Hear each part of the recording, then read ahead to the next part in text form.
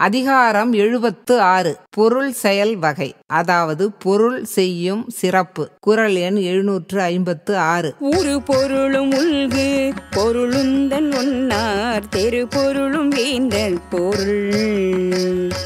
ஒரு பொருளும் உள்கு பொருளுந்தன் ஒன்னார். தெரு பொருளும் வேந்தன் பொருள்.